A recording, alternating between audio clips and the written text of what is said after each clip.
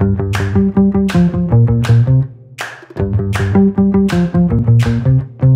my name is Hala Sad'i and I'm a year one computing student. Well, originally I was gonna choose to attend a university in the United States, but then I heard about the ESLSCA in Egypt and their three-year program, and preferably I wanted to finish in three years.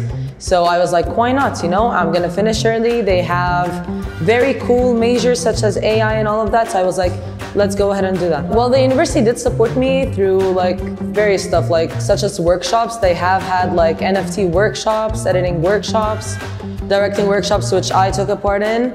Um, they even support me mentally. Like, I mean, they have had fun events such as the Halloween party, the um, the car event. Like, so they do support. They even provided scholarship. Like, I personally got a scholarship, so they did support me financially in my education. And uh, there's always like 24-7 support from the academic coordinator's office, really. Like I could at any time refer back to any of the staff and I get on-demand help right away. I would say the university did meet my expectations mostly. Um, there have been some professors who have been uh, pretty good. Um, the student life, like the clubs and the events that this uh, university offers to the students, I think they are beyond my expectations.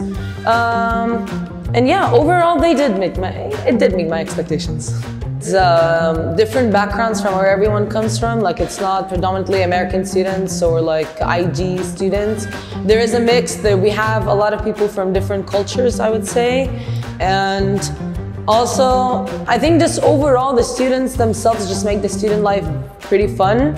I think also the bonding events, like they're in the workshops and all of that, you get to meet people outside of your major or outside of your field of study.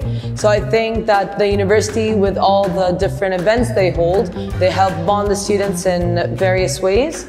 And one such example was the MUN, and uh, right after MUN, with the closing ceremony, we had uh, we all watched a match together.